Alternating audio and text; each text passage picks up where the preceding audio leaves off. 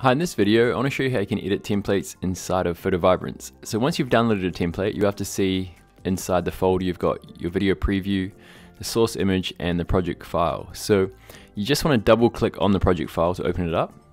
And you can see we've got our template here and you can hit the spacebar and just preview it like so. So you've got all your text like that, okay? So if I click on this keyframe here, you can see it takes us to this part where we've got all our text.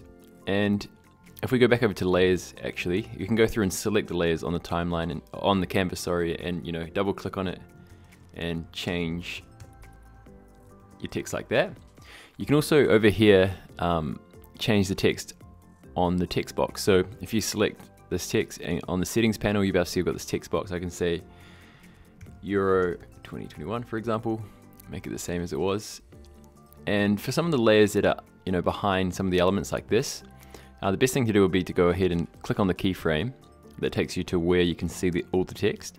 And then on the layers panel down here, you can simply select a layer and you can make the changes. So this text here, now on, you just want to go through and, and click on that text here and let's say Euro 2021 sale uh, on now, for example, okay, something like that. And it's easy to adjust it over here in the settings panel.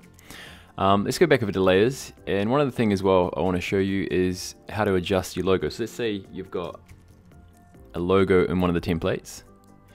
Let's say something like this. I'll just go down and resize it. So if there's a, logo on, on your template, what you can do is simply click the, on the logo or the image and you'll see the replace button here. So if I click on the replace button and let's go with create studio logo if I double click on that, you can see it instantly replaces that logo. Uh, and if it had any animations, it will be applied to that logo as well. So that's just a quick video showing you, you know, how you can go through and customize the templates. One other thing as well to note is we've got keyboard shortcuts over here. So if you click on this icon here, you have to see we've got some keyboard shortcuts to, you know, show you what, what keyboard shortcuts to use when you're editing your projects. And yeah, that's probably about it for this video. Hope you enjoy it and have a great day.